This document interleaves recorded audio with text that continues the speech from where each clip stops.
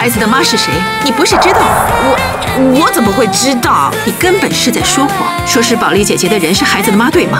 老师，您在说什么？大婶真的喜欢我吗？